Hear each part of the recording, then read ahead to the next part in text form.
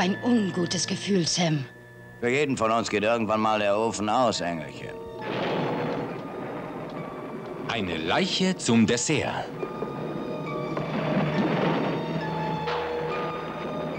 Ein kleiner, düsterer Mann, der genau aussieht wie Truman Capote, bereitet ein teuflisches Wochenende vor. Mit den größten Detektiven der Welt. Sidney Wang.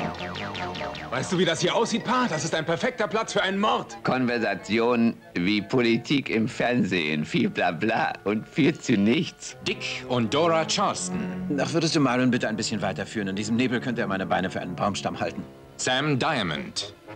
Ja, da haben wir uns ja einen sehr exotischen Vogel angelacht. Sonst noch irgendwas?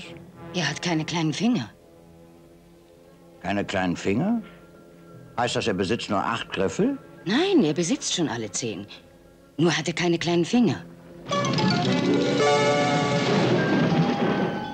Sie werden Zeuge sein, wie die Gäste hoffnungslos in einem geheimnisvollen alten Schloss festsitzen, wo ein teuflisch geniales Verbrechen stattfinden soll. Hinzufügen möchte ich noch, dass sich das Opfer hier bereits am Tisch befindet, Mr. Diamond. Und selbstverständlich nicht nur das Opfer, sondern auch der Mörder. Blödeste Theorie, die ich je gehört.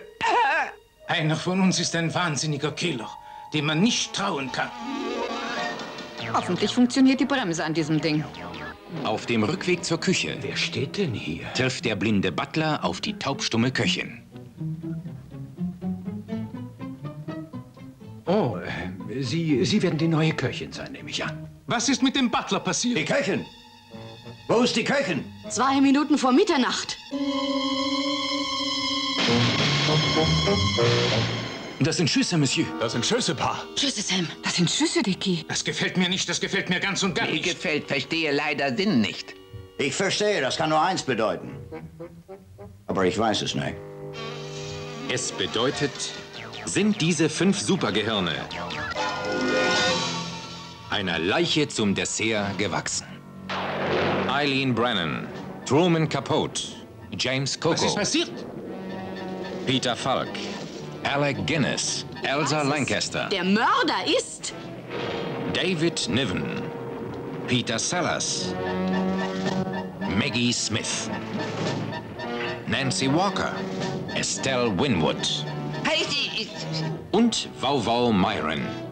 Ist der, den man verdächtigt, tatsächlich der Täter? Eine Leiche zum Dessert. Bereitet bestimmt sehr spannendes Wochenende.